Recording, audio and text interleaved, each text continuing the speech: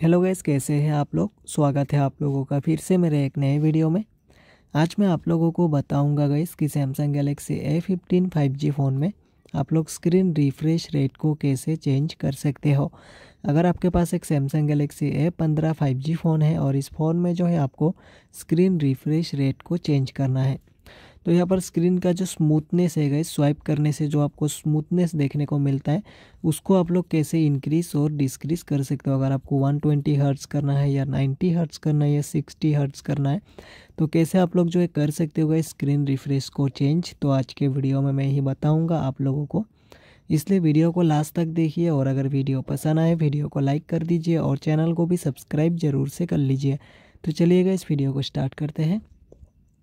Screen refresh rate को change करने के लिए आपको सबसे पहले जो है अपने फ़ोन के सेटिंग्स में जाना है। सेटिंग्स में जाने के बाद आपको यहाँ पर से थोड़ा सा नीचे स्क्रॉल डाउन करना है। थोड़ा नीचे स्क्रॉल डाउन करते ही आपको एक ऑप्शन मिलेगा इस डिस्प्ले का। तो इस डिस्प्ले के ऑप्शन पे क्लिक कर दीजिए। क्लिक करने के बाद थोड़ा नीचे स्क्रॉल डाउन करेंगे तो आपको एक ऑप्शन मिलेगा इस मोशन स्मूथनेस का। तो इस मोशन स्मूथनेस के ऑप्शन पे क्लिक कीजिए। क्लिक करते ही आपको यहाँ पर दो ऑप्शन मिलेंगे।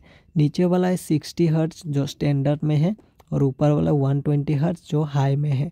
तो अगर आप लोग जो है, स्क्रीन को थोड़ा स्मूथनेस बनाना चाहते हो तो हाई पे क्लिक करके रखिए क्योंकि ये वन ट्वेंटी हर्ट्स स्क्रीन है, बहुत ही स्मूथ चलेगा।